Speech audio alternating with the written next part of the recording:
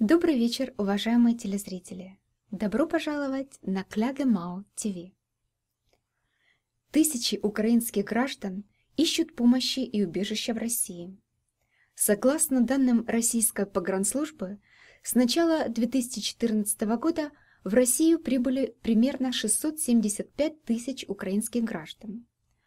По данным Российского Министерства гражданской обороны, около 143 тысяч украинских граждан попросили об убежище в России. Растущие миграции сильно нагружены прежде всего территории России, примыкающие к Украине. Например, Белгородская, Ростовская, Брянская области, а также Краснодарский край.